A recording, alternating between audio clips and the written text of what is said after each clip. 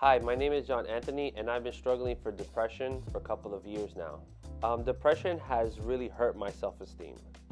I tried multiple treatments in the past, and nothing really was working. I couldn't find nothing to solve this problem. The other day, I was talking to a friend, and he told me about this company called GIA Miami.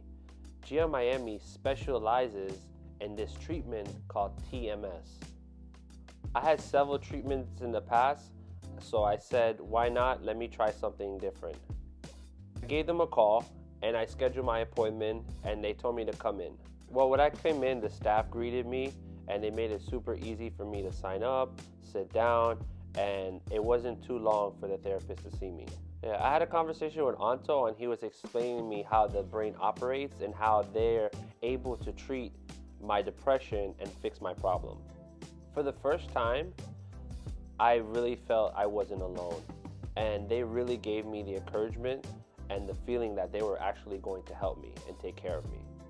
I was suffering for such a long time, but after TMS, I felt this relief. I felt that I was back to my normal self. The treatment was quick, it was about 20 minutes, and after I was done, I was even able to go back to work that day.